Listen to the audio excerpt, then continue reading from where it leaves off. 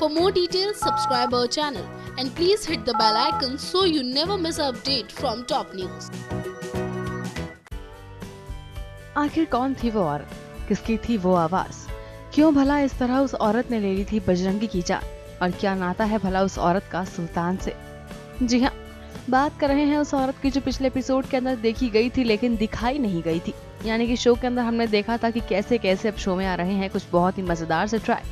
जहाँ रुद्र भव्य होते हैं मिशन पर और उसी मिशन के दौरान जहाँ एक तरफ़ भव्य की आइडेंटिटी लग जाती है सुल्तान के आदमियों के हाथों में तो वहीं दूसरी तरफ़ शो में भव्य को यह भी पता चल जाता है कि ये आदमी यानी कि जो सुल्तान बनकर आया है, दरअसल वो ढोंग कर रहा है सुल्तान होने का, और वो आदमी सुल्तान नहीं, बल्कि कोई नौटंकी है। सीरियल के एक ट्रैक में ये भी देखने को मिलता है कि जब भव्य की असलियत नोंडो को पता चलती है, तब एक खुद गन पीछे से आती है, और साथ ही उसके पीछे से भी एक आवाज़ आती है, जो आवाज़ एक लड़की की होती है।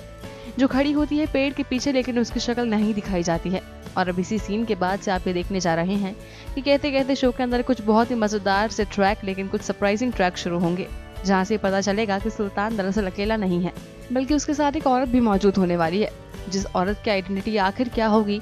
ये ज़ाहिर तौर पर देखना बहुत ही ज़्यादा इंटरेस्टिंग होने वाला है, और साथ ही ये भी कि कहाँ है भला असली सुल्तान, और क्यों वो सबके सामने नहीं आना चाह रहा है, और कब तक भला वो सुल्तान भव्य के सामने आएगा। तो इन सब बातों को जानने के लिए सब्सक्राइब कीजिए हमारा channel top news just for you top news से आस्था की report for more detail subscribe our channel and please hit the bell icon so you never miss update from top news